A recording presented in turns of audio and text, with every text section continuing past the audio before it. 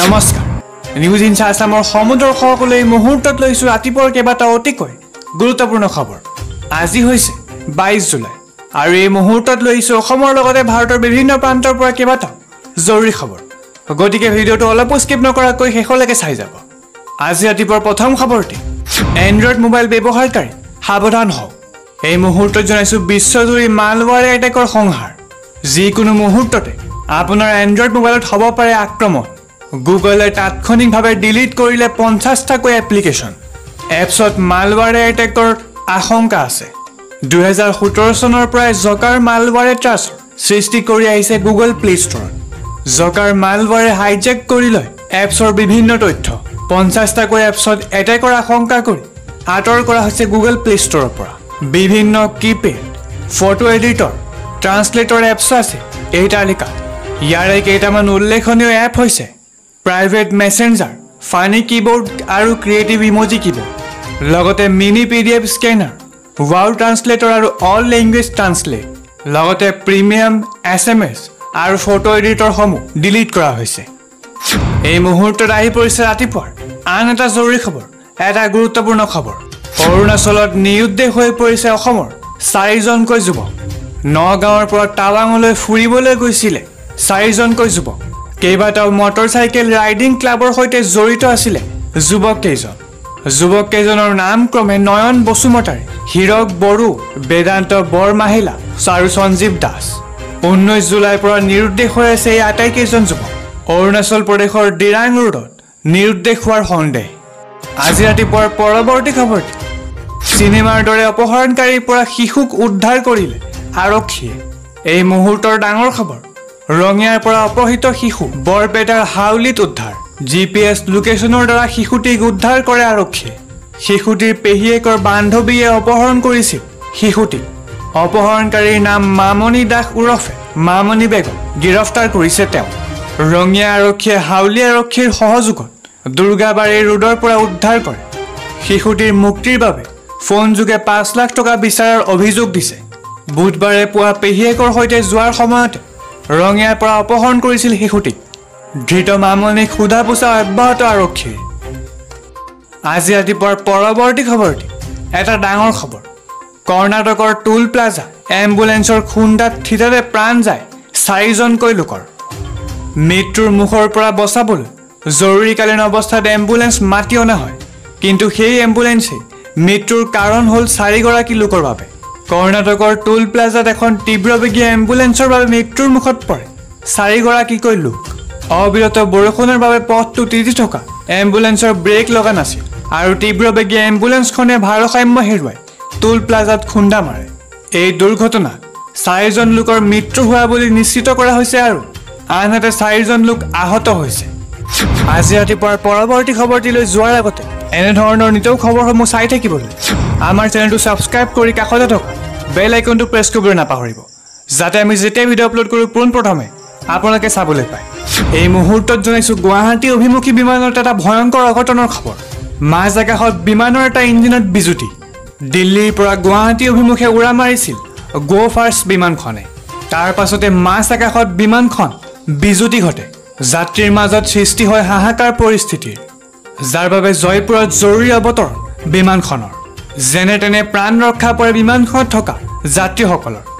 আজি ৰাতিপুৱাৰ পৰৱৰ্তী খবৰটি এটা জৰুৰী খবৰ এটা ডাঙৰ খবৰ। এই মুহূৰ্তৰ ডাঙৰ খবৰ পৃথিৱী বাচি থাকিবনে নাথাকে? পৃথিৱীত গৰমে ভংগ কৰিছে পূৰ্বৰ সকলো অভিলেখা। গ্ৰীষ্ম প্ৰবাহৰ ফলত ইউৰোপত এহেজাৰজন লোকৰ মৃত্যু ঘটে। নাছাই প্ৰকাশ কৰিছে গ্ৰীষ্ম প্ৰবাহৰ ভয়ংকৰ ছেটেলাইট মেপ। পৃথিৱীত গ্ৰীষ্ম প্ৰবাহে লোৱা ভয়ংকৰ ৰূপৰ কথা। বৰ্ণনা কৰিছে নাছাই। এছিয়া ইউৰোপ আৰু আফ্ৰিকা ভয়ংকৰ গ্ৰীষ্ম প্ৰবাহ। পশ্চিম ইউৰোপৰ পৰ্তুগাল স্পেইন আৰু ফ্ৰান্সত গৰমে ভংগ কৰিছে সকলো অভিলেখ। অতিপাত গৰমৰ ফলত বিভিন্ন ঠাইত বনজুয়ে লৈছে। ভয়ংকৰ ৰূপ। ইংলেণ্ডতো গ্ৰীষ্ম প্ৰবাহে সকলো অভিলেখ ভংগ কৰিছে। এইবাৰ প্ৰথমবাৰলৈ ইংলেণ্ডত চল্লিছ দশমিক তিনি ডিগ্ৰী চেলছিয়াছলৈ পৰ্যন্ত বৃদ্ধি পাইছে তাপমাত্ৰা। ইংলেণ্ডত বতৰ বিজ্ঞান কেন্দ্ৰই জাৰি কৰিছে সতৰ্কবাণী। এই পচন্দ গৰম একচল্লিছ ডিগ্ৰীতকৈ অধিক হোৱাৰ সম্ভাৱনা আছে। ইতিমধ্যে লণ্ডনৰ বিভিন্ন প্ৰান্তত দেখা পোৱা গৈছে বনজুই। উত্তৰ আফ্ৰিকাৰ টিউনিছিয়াত আঠচল্লিছ ডিগ্ৰী পৰ্যন্ত বৃদ্ধি পাইছে তাপমাত্ৰা। বিগত চল্লিছ বছৰৰ সকলো অভিলেখ ভংগ কৰিছে। এইবাৰ প্ৰচণ্ড গৰমে। ইৰাণত বাৱন্ন ডিগ্ৰী পৰ্যন্ত বৃদ্ধি পাইছে উষ্ণ- উষ্ণতা। চীনতো গ্ৰীষ্ম প্ৰবাহৰ ভয়ংকৰ ৰূপ। এই মুহূৰ্তত আহি পৰিছে মাইক্ৰ' ফাইনেন্সৰ লগতে এক লাখ চাকৰিৰ পৰা আৰম্ভ কৰি এন আৰ চিৰ সন্দৰ্ভত পাঁচটা বৃহৎ ডাঙৰ ঘোষণা। এই মুহূৰ্তৰ জৰুৰী খবৰ মাইক্ৰ' ফাইনেন্স এক লাখ নিযুক্তি এন আৰ চি আৰু ধান বিক্ৰীকে ধৰি মুখ্যমন্ত্ৰীৰ পাঁচটা বৃহৎ ঘোষণা। এই মুহূৰ্তত অসমবাসী ৰাইজক মুখ্যমন্ত্ৰীয়ে দিলে কেইবাটাও ভাল খবৰ। মাইক্ৰ' ফাইনেন্সৰ ঋণ ঘূৰাই দিব নোৱাৰা মহিলাক চৰকাৰে দিব সকাহ। শীঘ্ৰেই ঋণ ঘূৰাই নিদিয়া মহিলাক এন অ' চি প্ৰদান কৰিব চৰকাৰে। আগষ্ট মাহত দ্বিতীয় পৰ্যায়ৰ ঋণী মহিলাকো সকাহ দিব চৰকাৰে। ইয়াৰ লগতে এক লাখ নিযুক্তি লৈ মুখ্যমন্ত্ৰীৰ এটা ডাঙৰ ঘোষণা। আগষ্টত বাৰ হাজাৰ নিবনুৱাই লাভ কৰিব। চৰকাৰী চাকৰি। এক লাখ চাকৰি সম্পূৰ্ণ নিকা পদ্ধতিৰ হ'ব বুলি মুখ্যমন্ত্ৰীৰ মন্তব্য। স্বনিৰ্ভৰশীল নাৰীক লৈ হিমন্ত বিশ্ব চৰকাৰৰ যুগান্তৰকাৰী আঁচনি।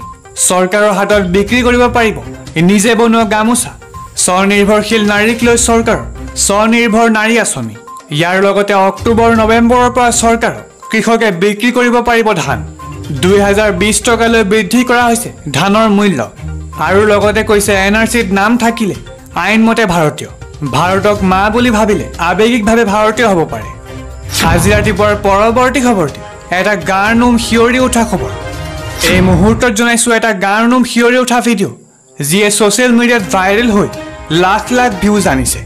এই মুহূৰ্তৰ আচৰিত খবৰ মাৰ্কিন যুক্তৰাষ্ট্ৰৰ নিবাসী এজন ব্যক্তিৰ ঘৰৰ সমীপত এক ৰহস্যজনক ভিডিঅ'ৰ ফুটেজ দেখি টোপনি নাইকিয়া হৈছে অঞ্চলবাসীৰ। সেই ভিডিঅ'টি ছ'চিয়েল মিডিয়াত পষ্ট কৰাৰ পিছতেই ভাইৰেল হৈ পৰিছে। পেৰানৰ্মেলিটি যোগানে এই ভিডিঅ'টো ছ'চিয়েল মিডিয়াৰ পৰা লৈ টুইটাৰত শ্বেয়াৰ কৰিছে। টুইটাৰৰ কেপশ্যনত লিখিছে ভিডিঅ'টো মুৰহেড ষ্টেটৰ সমীপদত ধৰা পৰিছে। ভিডিঅ'টো কিহৰ হ'ব পাৰে তাক লৈ বিশ্বজুৰি পেৰনৰ্ভেল চৰ্চাৰ আগ্ৰহীসকলৰ মাজত বিতৰ্কৰ সৃষ্টি হৈছে। ত্ৰিছ ছেকেণ্ডৰ ভিডিঅ'টোত এক শীৰ্ণ শৰীৰৰ মানুহৰ দৰে ছাঁ দেখা গৈছে। সেই ছাঁটো ঘৰৰ পিছফালৰ পৰা বাগিচাৰ সমীপৰ গেটৰ সন্মুখলৈ আগুৱাই গৈছে। সেই ক্ষীণ আৰু ভাগি পৰা শৰীৰৰ ছাঁটো ঘৰৰ মালিকৰ গাড়ীৰ সমীপলৈ যোৱাৰ সময়ত সাৱধানে ইফালে সিফালে চাইছে। ক্লিপটোৰ অডিঅ'ত এজন লোকক কোৱা শুনা গৈছে কি অদ্ভুত তেওঁৰ মুখখন স্পষ্টকৈ দেখা গৈছে। ক্লিপটো আপলোডৰ সময়ত কেপশ্যনত লিখা আছিল ন জুলাই মোৰ হেড। কে ৱাইৰ সমীপত ছিকিউৰিটি কেমেৰাত ধৰা পৰিছে এক আচৰিত গাৰ নোম শিয়ৰি উঠা ভিডিঅ' ভিডিঅ'টো আপলোড হোৱাৰ পিছতেই প্ৰায় আধা মিলিয়ন লোকে প্ৰত্যক্ষ কৰি পেলাইছে। এই মুহূৰ্তত জনাইছোঁ উচ্চতৰ মাধ্যমিকত উত্তীৰ্ণসকলক লৈ মুখ্যমন্ত্ৰীৰ এটা ডাঙৰ ঘোষণা হায়াৰ ছেকেণ্ডেৰী পৰীক্ষাত প্ৰথম বিভাগত উত্তীৰ্ণ হোৱা ছাত্ৰীসকলক দিব স্কুটি। লগতে এইবাৰ লেটাৰ মাৰ্কছ পাই পাছ কৰা ছাত্ৰসকলক দিব স্কুটি। অৰ্থাৎ এইবাৰ ছোৱালীসকলৰ লগতে ল'ৰাসকলেও লাভ কৰিব স্কুটি। দুৰ্গা পূজাৰ আশে পাশে এই স্কুটি প্ৰদান কৰিব। ডক্টৰ হিমন্ত বিশ্ব শৰ্মাই। আজি ৰাতিপুৱাৰ পৰৱৰ্তী খবৰটি। অৰুণোদয় আঁচনিৰ হিতাধিকাৰীসকলৰ বাবে এটা অতিকৈ জৰুৰী খবৰ এটা গুৰুত্বপূৰ্ণ খবৰ। অৰুণোদয় হিতাধিকাৰীক লৈ হিমন্ত চৰকাৰৰ এটা বৃহৎ ঘোষণা। এই মুহূৰ্তৰ ডাঙৰ খবৰ অৰুণোদয় আঁচনিৰ হিতাধিকাৰীক লৈ হিমন্ত চৰকাৰৰ এটা বৃহৎ ঘোষণা।